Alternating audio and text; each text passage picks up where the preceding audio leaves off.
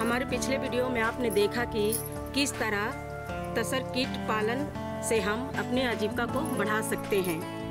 और आइए, इसी क्रम में जानते हैं कि इसके लिए पेड़ों की चुनाव और इसकी तैयारी कैसे करते हैं। रेशम कीट पालन भी हमारे लिए रोज़गार का एक साधन है। जिस प्रकार आलू, टमाटर जैसे फ़सलों के लिए जानकारी होना बहुत ज़रूरी है, उसी तरह हमारे रेशम कीट पालन के लिए भी उचित जानकारी होना बहुत ज़रूरी है। तसर कीट पालन के लिए मुख्यतः अर्जुन और आसन पेड़ों को उपयुक्त माना जाता है, क्योंकि रेशम कीट इन्हीं पेड़ों के पोषण पत्तों का सेवन करती है। रेशम कीट को पेड़ पे छोड़ने से पहले पेड़ों की अच्छे से तैयारी करना बहुत ज़रूरी है, ताकि कीट का विकास अच्छे से हो सके। इन पेड़ों में कटाई, छटाई तीन प्रकार की की जाती है। सबसे पहले हल्की छटाई, जिसमें प्रत्येक साल पौधों की बायोमास के चौथाई भाग को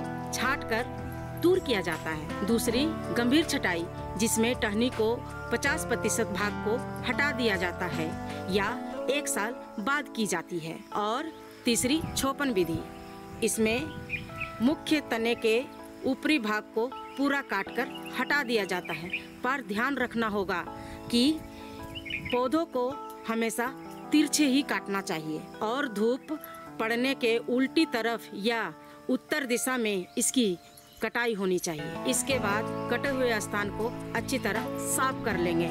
ध्यान रहे कि काटने समय तनों में दरार ना पड़े एवं छाल ना छूटे। कटे हुए स्थान पर गोबर और मिट्टी को मिलाकर लगा देंगे। अर्जुन या आसन के पेड़ों को कटाई छटाई का कार्य जनवरी से मार्च महीना में किया जाता है। तसर कीट को पेड़ों पर चढ़ाने से पहले पेड़ की तैयारी इसलिए ज़रूरी है क्योंकि पेड़ों की कटाई छटाई करने से उसमें नए मुलायम रस्तेदार और स्वस्थ पत्ते निकल आते हैं, जिससे तसर के छोटे छोटे कीट आसानी से एवं बहुत चाव से खाते हैं और उसके शारीरिक विकास काफ़ी तेज़ी से होती है। साथ ही पेड़ों में पहले से रहने वाले दूसरे कीट जीव को भी खत्म करती है, जिससे तसर कीटों को शुरुआती दिनों में दूसरे जीव से